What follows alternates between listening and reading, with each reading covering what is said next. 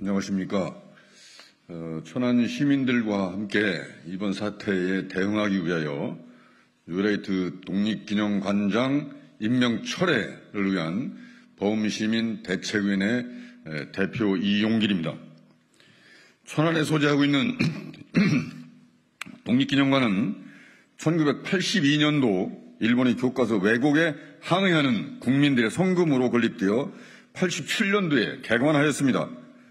광복 50년이 되는 해에는 N편 기술계 일제 식민지배의 상징이었던 조선 총독부 철거 자재가 전시되었고 오른편 기술계는 통일의 종이 걸려있는 통일 염원의 동산이 마련되었습니다.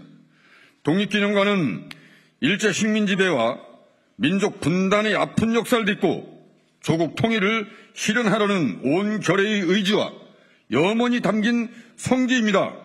그러한 독립기념관장에 뉴라이트 친일파 인사인 김형석 씨가 임명됐습니다. 70만 서한 시민들을 모욕하는 자태요. 전국의 민주시민들을 배신하는 폭거입니다. 김영석 씨는 취임 일성으로 친일 인명사진에 기록된 친일 인사들의 명예회복을 운운하였습니다. 친일 인명사전은 친일파 연구의 선구자이신 임종국 선생의 필생의 연구 결과를 민족문제연구소가 온 국민의 성금으로 펴낸 친일파 판결문입니다. 임종국 선생은 말년 10년을 천안에서 친일파 연구에 온몸을 바치셨으며 천안 공원묘원에 유택이 있으시고 천안시내 항복판인 천안 공원묘지에 흉상도 모셔져 있습니다. 고 임종국 선생께서 친일파를 청산하지 못한 후과라며 통곡하실 것입니다. 임종국 선생의 역사 정신의 정신으로, 역사 정의의 정신으로 살아가는 천안 시민들과 전국의 민주 시민들은 이를 용납할 수 없습니다. 뉴라이트의 정체성은 친일과 분단과 황금 만능주의입니다.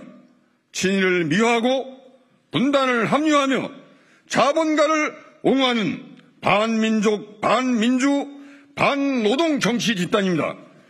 우리는 뉴라이트 인사를 독립개념관장 등 역사 관련 기관장 그리고 정부 주요 요직에 임명하는 윤석열 대통령에게 묻습니다. 윤석열 대통령, 당신은 뉴라이트 대통령입니까? 우리는 이 자리에서 분명하게 밝힙니다.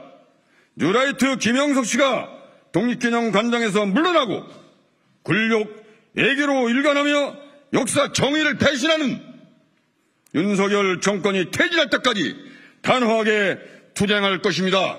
감사합니다.